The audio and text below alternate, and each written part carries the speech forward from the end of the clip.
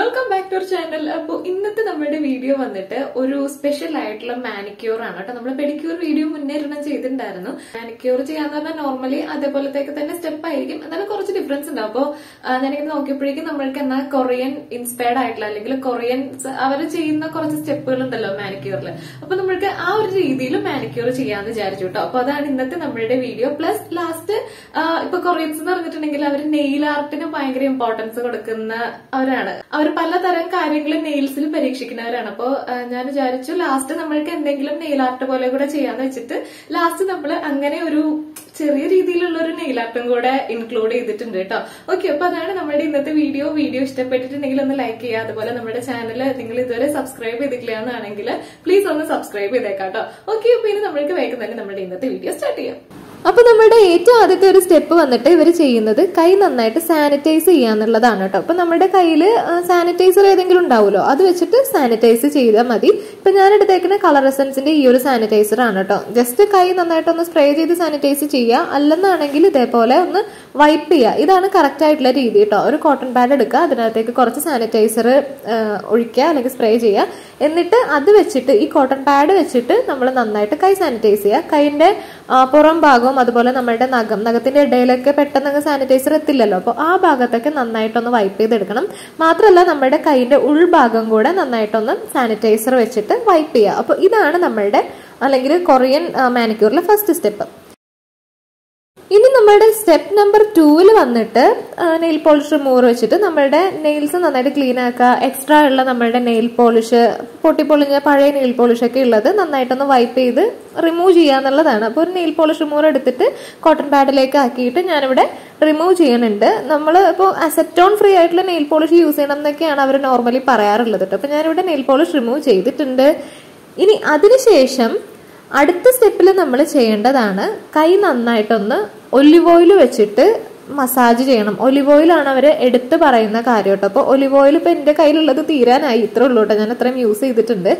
അപ്പോൾ കുറച്ച് olive oil ഞാൻ എന്റെ കയ്യിൽ എടുത്തിട്ടുണ്ട്. അതിനുശേഷം ഇപ്പൊ ഞാനിപ്പോ ഈ ലെഫ്റ്റ് ഹാൻഡിലാണ് ചെയ്ത് കാണിക്കണത് കേട്ടോ അപ്പൊ ആ കയ്യിലേക്കാണ് ഞാൻ കൂടുതലായിട്ട് അപ്ലൈ ചെയ്ത് കാണിക്കണേ. അപ്പൊ ഒലിവ് ഓയിൽ എടുത്തിട്ട് കയ്യിലേക്ക് നന്നായിട്ട് അപ്ലൈ ചെയ്തതിന് ശേഷം നമ്മുടെ ഈ നഖത്തിന്റെ ഭാഗം നഖത്തിന്റെ ഈ ചുറ്റുള്ള ഭാഗത്ത് കട്ടിയുള്ള ഭാഗം ഉണ്ടാവുമല്ലോ ക്യൂട്ടിക്കിൾ ആ ഭാഗത്തേക്ക് ഒന്ന് ഇട്ടിട്ട് നന്നായിട്ടൊന്ന് മസാജ് ചെയ്ത് കൊടുക്കുക. അതുപോലെ നമ്മുടെ കൈയിന്റെ ഈ വിരലിന്റെ ഇടയിലുള്ള ഭാഗത്തൊക്കെ പെട്ടെന്ന് അങ്ങനെ നമ്മൾ അധികം ശ്രദ്ധിക്കാത്ത ഭാഗങ്ങളാണ്. അപ്പോൾ ആ ഭാഗത്തേക്ക് ഒന്ന് നന്നായിട്ടൊന്ന് ഒലിവ് ഓയിൽ ഇട്ടിട്ട് നന്നായിട്ടൊന്ന് മസാജ് ചെയ്യുക. അതുപോലെ നമ്മുടെ ഇങ്ങനെ ഈ വിരലിന്റെ ഈ ഒരു ഭാഗത്തേക്ക് ചിലപ്പോൾ നമ്മൾക്ക് ബ്ലാക്ക് കളർ കൂടുതലായിരിക്കും. കുറച്ച് പിഗ്മെന്റേഷൻ ഉണ്ടാവും ചിലവർക്ക്. അപ്പോൾ അങ്ങനെയുള്ള ഭാഗത്തേക്ക് കുറച്ച് കൂടുതലായിട്ട് മസാജ് ചെയ്യാം. ഓക്കെ നന്നായിട്ടൊന്ന് കൈ മസാജ് ചെയ്തിട്ടുണ്ട്. അതിനുശേഷം നമ്മൾക്ക് എക്സ്ട്രാ ഉള്ള ഒലിവ് ഓയിൽ അതായത് ഇപ്പോൾ നമ്മൾ കുറച്ച് കൂടുതൽ ഓയിലിട്ടൊക്കെയാണ് മസാജ് ചെയ്തേക്കണമെങ്കിൽ ഭയങ്കര ഓയിലി ആയിട്ടിരിക്കുമല്ലോ കൈ. അത്ര ഓയിലി ആയിട്ടിരിക്കേണ്ട. നമ്മൾക്ക് കുറച്ചൊന്ന് എന്തെങ്കിലും ടിഷ്യൂ പേപ്പറോ അല്ലെങ്കിൽ എന്തെങ്കിലും തുണിയോ എന്തെങ്കിലും വെച്ചിട്ട് നമ്മുടെ കൈ ഒന്ന് വൈപ്പ് ചെയ്തിട്ട് എക്സ്ട്രാ ഉള്ള ഒലിവ് ഓയിൽ കളയാം. ഓക്കെ ഇനി അടുത്ത സ്റ്റെപ്പിൽ വന്നിട്ട് നമ്മൾ ചെയ്യുന്നത് നമ്മുടെ നെയിൽസ് നന്നായിട്ട് കട്ട് ചെയ്ത് കറക്റ്റ് ഒരു ഷേപ്പ് ആക്കി വെക്കുക എന്നുള്ളതാണ് കേട്ടോ അപ്പൊ ഞാനിവിടെ ഒരു നെയിൽ കട്ടർ എടുത്തിട്ടുണ്ട്. ഈ നെയിൽ കട്ടർ ഞാൻ പുതിയതായിട്ട് വാങ്ങിയിട്ടുണ്ടായിരുന്നതാണ്. ഇവിടെ വീട്ടിലുണ്ടായിരുന്നത് കുറച്ചിങ്ങനെ അതിന്റെ പെയിന്റ് ഒക്കെ പോയിട്ടുണ്ടായിരുന്നു. അപ്പൊ ഞാൻ വീഡിയോയിൽ എടുക്കാൻ വേണ്ടിയിട്ട് ഒരെണ്ണം വാങ്ങിയതാണ്. അപ്പൊ അതിൽ ഇങ്ങനെ കൊറിയാന്ന് എഴുതിയിട്ടുണ്ട് കേട്ടോ കണ്ട അവിടെ സൈഡിൽ കൊറിയാന്ന് എഴുതിയിട്ടുണ്ട്. കണ്ട? ഇത് ഞാൻ വാങ്ങിയപ്പോൾ കണ്ടിട്ടുണ്ടായിരുന്നില്ല. ഇപ്പൊ വീഡിയോ എടുക്കാൻ നേരത്ത് ഇതെടുത്ത് നോക്കിയപ്പോഴാണ് അത് കണ്ടത് കേട്ടോ അപ്പോൾ ഈ നെയിൽ കട്ടർ വന്നിട്ട് ഇതിന്റെ ഉള്ളിൽ ഫയലറും പിന്നെ നമ്മൾക്ക് വേണ്ടിയിട്ട് ഇങ്ങനെ സൈഡിൽ ക്യൂട്ടിക്കളൊക്കെ കളയാൻ വേണ്ടിയിട്ട് പറ്റിയിട്ടുള്ള സാധനങ്ങളൊക്കെ ഒന്നിച്ചുള്ള ഒരു നെയിൽ കട്ടറാണ്. അപ്പോൾ എന്റെ നഖം നോക്കാനാണെങ്കിൽ ഒരു ചെറിയ സ്ക്വയർ ഷേപ്പ് പ്ലസ് ചെറിയൊരു യു ഷേപ്പ് അങ്ങനെയാണ് ഞാൻ കട്ട് ചെയ്ത് ഇത്രയും നാളും മീൻസ് ഇങ്ങനെയാണ് ഞാൻ നെയിൽ കട്ട് ചെയ്യാറുള്ളത്. ഓവറായിട്ട് ഇങ്ങനെ യു ഷേപ്പിലേക്ക് ഷേപ്പ് ചെയ്യാറില്ല.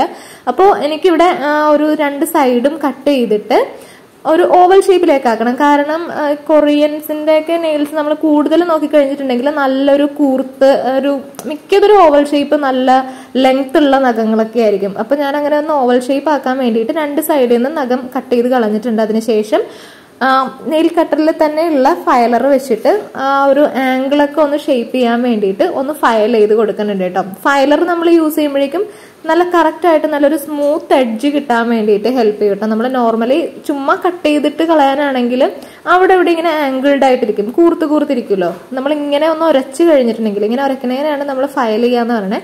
ഇങ്ങനെ ഒന്ന് ഫയൽ ചെയ്ത് കഴിഞ്ഞിട്ടുണ്ടെങ്കിൽ കുറച്ചും കൂടി നല്ലൊരു സ്മൂത്ത് ആയിട്ട് നല്ല കറക്റ്റ് ആയിട്ടുള്ള ഷേപ്പിൽ നമ്മൾക്ക് നെയിൽസ് വെക്കാൻ വേണ്ടിയിട്ട് പറ്റും അപ്പോൾ ഞാൻ ഫുള്ളായിട്ട് നഖം ഒന്ന് ഫയൽ ചെയ്ത് കഴിഞ്ഞപ്പോഴേക്കും നല്ല ഷേപ്പായിട്ട് നഖം വന്നിട്ടുണ്ട്. അത്യാവശ്യം നല്ല യു ഷേപ്പിൽ കട്ട് ചെയ്തെടുത്തിട്ടുണ്ട് കേട്ടോ ഇനി നെക്സ്റ്റ് സ്റ്റെപ്പിൽ നമ്മൾ ചെയ്യണത് പെഡിക്യൂറിൽ നമ്മൾ ചെയ്യുമ്പോഴേക്കും ചൂടുവെള്ളത്തിൽ കാൽ മുക്കി വെക്കുമല്ലോ അതുപോലെ തന്നെ നമ്മൾ ചെറിയ ചൂടുവെള്ളം എടുക്കുക ഓവർ ചൂട് വേണ്ട. നമ്മൾക്ക് ഒരു ഇളം ചൂടുവെള്ളം എടുത്താൽ മതി. അതിലേക്ക് നമ്മൾ എന്തെങ്കിലും എസെൻഷ്യൽ ഓയിൽ ചേർക്കണം എന്നാണ് കേട്ടോ പറയണം. ഇപ്പം ഇതില്ല എന്നാണെങ്കിൽ എസെൻഷ്യൽ ഓയിൽ ഇല്ല എന്നാണെങ്കിൽ നമ്മൾക്ക് നാരങ്ങ നീരാണെങ്കിലും യൂസ് ചെയ്യാം. ഒരു ഹാഫ് ലെമൺ ജ്യൂസ് യൂസ് ചെയ്താൽ മതി. അപ്പോൾ ഞാനിവിടെ റോസ്മേരി എസെൻഷ്യൽ ഓയിലാണ് എടുത്തിട്ടുള്ളത്. എസെൻഷ്യൽ ഓയിൽ ആണ് നമ്മൾ യൂസ് ചെയ്യണമെങ്കിൽ മൂന്ന് ഡ്രോപ്സ് മാത്രം എടുത്താൽ മതി. കേട്ടോ അതിൽ കൂടുതൽ എടുക്കേണ്ട ആവശ്യമില്ല. ഓക്കെ ഈ എസെൻഷ്യൽ ഓയിൽ ആ ചെറിയ ചൂടുള്ള വെള്ളത്തിലേക്ക് ഇട്ട് കൊടുത്തതിന് ശേഷം നമ്മുടെ കൈ ആ വെള്ളത്തിൽ ഒന്ന് മുക്കി വെക്കുക കുറച്ച് നേരം. കുറച്ച് നേരം എന്ന് വെച്ചാൽ ഒരു അഞ്ച് മിനിറ്റ് ഒക്കെ നമ്മൾ മുക്കി വെച്ചാൽ മതി കേട്ടോ കാലിന്റെ അത്രയും കട്ടിയായിട്ടുള്ള കാൽപാതാണെങ്കിൽ നമ്മൾ കുറച്ചധികം നേരം മുക്കി വെക്കണം കയ്യിൽ അത്ര കട്ടിയായിട്ടുള്ള തൊലി ഉണ്ടാവില്ലല്ലോ അത്ര തഴമ്പുണ്ടാവില്ലല്ലോ അപ്പോൾ അഞ്ച് മിനിറ്റ് നമ്മൾ മുക്കി വെച്ച് കഴിയുമ്പോഴേക്കും കയ്യിൽ ആ സ്കിന്നൊക്കെ നന്നായിട്ട് കുതിർന്ന് ക്യൂട്ടിക്കിളൊക്കെ ഒന്ന് കുതിർന്ന് വന്നിട്ടുണ്ടാവും. ആ സമയമാകുമ്പോഴേക്കും നമ്മൾക്ക് എടുത്ത് മാറ്റാട്ടോ. നിങ്ങൾക്ക് വേണമെങ്കിൽ ഈ സമയത്ത് ഇതിനകത്ത് കുറച്ച് ഷാമ്പുവോ എന്തെങ്കിലും ഫേസ് വാഷോ എന്തെങ്കിലും ഒന്ന് പത വര അഴുക്ക് പോകാൻ വേണ്ടിയിട്ടുള്ള എന്തെങ്കിലും ചേർത്ത് കൊടുക്കണമെങ്കിൽ ചേർത്ത് കൊടുക്കാം. അഞ്ച് മിനിറ്റ് അങ്ങനെ ഡിപ്പ് ചെയ്ത് വെക്കാം. അതിനുശേഷം കൈ ഒന്ന് തുടച്ചെടുക്കുക. സ്റ്റെപ്പായിട്ട് നമ്മൾ ഇപ്പോൾ കൈ നന്നായിട്ട് കുതിർന്ന് നമ്മുടെ ആ എക്സ്ട്രാ ഉള്ള തൊലിയൊക്കെ ഒന്ന് ലൂസൺ ആയിട്ടുണ്ടാവുമല്ലോ. അപ്പോൾ നമ്മുടെ നഖത്തിന്റെ രണ്ട് സൈഡിലും കട്ടിയുള്ള തൊലികൾ ഉണ്ടാവും കേട്ടോ അങ്ങനെ രണ്ട് സൈഡിലും കുറച്ച് വേറൊരു ഷെയ്ഡിലേക്കായിട്ട് ഒരു തഴമ്പ് മാതിരിയുള്ള തൊലികളുണ്ടാവും. അത് എക്സ്ട്രാ ക്യൂട്ടിക്കിളാണ് അപ്പോൾ നമ്മളത് കട്ട് ചെയ്ത് കളയണം കേട്ടോ. അപ്പോൾ ഞാൻ രണ്ട് സൈഡിൽ നിന്ന് അത് കട്ട് ചെയ്ത് കളഞ്ഞിട്ടുണ്ട്. അതിനുശേഷം ഞാനിങ്ങനെ ഒന്ന് നമ്മുടെ ക്യൂട്ടിക്കിളൊന്നും ആ ഒരു ഭാഗത്തെ ക്യൂട്ടിക്കിളൊന്നും മേലേക്ക് പുഷ് ചെയ്യണുണ്ട് കേട്ടോ. ഇത് ഈ നെയിൽ കട്ടറിൽ തന്നെ ഉണ്ടായിരുന്ന സാധനമാണ്. ഇനി നിങ്ങൾക്ക് ഇങ്ങനെ ഇല്ലാന്നാണെങ്കിൽ നമ്മളുടെ ടിക് ടാക് സ്ലൈഡോ അല്ലെങ്കിൽ ടൂത്ത് പിക്കോ ഒക്കെ വെച്ചിട്ട് പതിയെ ഇങ്ങനെ പ്രസ് ചെയ്യാം. അത് വെച്ച് പ്രസ് ചെയ്യുമ്പോഴേക്കും ഭയങ്കരമായിട്ട് അങ്ങ് പ്രസ് ചെയ്യാ ചെയ്യാതിരിക്കുക. ഭയങ്കര പ്രഷർ കൊടുത്തിട്ട് പ്രസ് ചെയ്യരുത്. ചുമ്മാ ജസ്റ്റ് അതിനൊന്ന് ഷേപ്പ് ആക്കുന്ന രീതിയിൽ ഒന്ന് ജസ്റ്റ് ഒന്ന് പുഷ് ചെയ്ത് കൊടുത്താൽ മതി കേട്ടോ. ഇപ്പൊ നമ്മൾ ആ ഒരു റാ ഷേപ്പ് നമ്മൾക്ക് കറക്റ്റ് ആയിട്ട് കിട്ടും ഇങ്ങനെ പുഷ് ചെയ്ത് കഴിയുമ്പോൾ.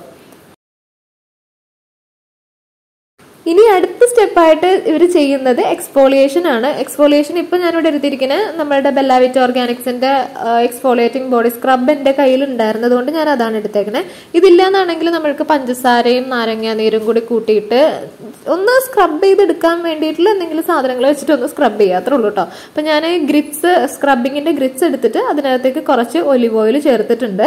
അതിനുശേഷം കുറച്ച് ബോഡി വാഷാണ് ചേർത്ത് കൊടുക്കണേ. അതിൽ ഞാൻ വായിച്ച ഒരു സംഭവത്തിൽ ബോഡി വാഷ് എന്ന് കൊടുത്തിട്ടുണ്ടായിരുന്നു. അതുകൊണ്ടാണ് ഞാൻ ബോഡി വാഷ് എടുക്കുന്നത് കേട്ടോ അപ്പോൾ ഇത് ബോഡി വേസിന്റെ ഒരു ബോഡി വാഷാണ് അതൊരു രണ്ട് ഡ്രോപ്സ് ഞാൻ ഈ ഒരു സ്ക്രബിന്റെ ഉള്ളിലേക്ക് ഇട്ട് കൊടുത്തിട്ട് മിക്സ് ആക്കുന്നുണ്ട് ഈ ഓയിലും നമ്മളുടെ ഈ ബോഡി വാഷും എന്തെങ്കിലും സോപ്പും ഓയിലും കൂടി ചെല്ലുമ്പോഴേക്കും നമ്മുടെ സ്കിന്നിന്റെ അടിയിൽ നിന്ന് അഴുക്ക് നന്നായിട്ട് പുറത്തേക്ക് വലിച്ചു കളയാൻ ഹെൽപ്പ് ചെയ്യും എന്നാണ് പറയണേ.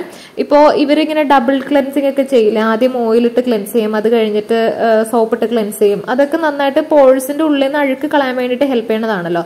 അപ്പോൾ അതുപോലെ എന്തെങ്കിലും ആയിരിക്കാം ഇങ്ങനെ ഓയിലും സോപ്പും കൂടി ഒന്നിച്ചെടുത്തിട്ട് ക്ലെൻസ് ചെയ്ത് നന്നായിട്ട് സ്ക്രബ് ചെയ്തെടുക്കുന്നുണ്ട് സ്ക്രബിങ് ഒരുപാട് നേരം ചെയ്യേണ്ട. ജസ്റ്റ് ഒന്നൊരു ഒന്ന് രണ്ട് മിനിറ്റ് പതിയെ സ്ലോലി അധികം പ്രഷർ കൊടുക്കാതെ സ്ക്രബ് ചെയ്യുക അങ്ങനെ നമ്മൾ കുറച്ച് നേരം സ്ക്രബ് ചെയ്തതിന് ശേഷം നമ്മൾക്ക് നോർമൽ വെള്ളത്തിൽ സോപ്പ് ഒന്നും ഇടണ്ട കേട്ടോ ജസ്റ്റ് ഒന്ന് കൈ വാഷ് ചെയ്തിട്ട് വരാം. ഇപ്പൊ തന്നെ നമ്മൾക്ക് നമ്മുടെ കൈ കണ്ടിട്ടുണ്ടെങ്കിൽ ആ ഒരു ഡിഫറൻസ് മനസ്സിലാവും. ഞാനിപ്പോൾ ഇടത്തെ കൈയിലാണ് ഈ സ്ക്രബ് ഒക്കെ ചെയ്ത് കാണിച്ചത് കേട്ടോ ആ കൈ നന്നായിട്ട് ലൈറ്റൻ ആയിട്ടുള്ളത് നമ്മൾക്ക് അറിയാൻ പറ്റും കേട്ടോ പിഗ്മെന്റേഷൻ ഒക്കെ മാറിയിട്ടുണ്ട്.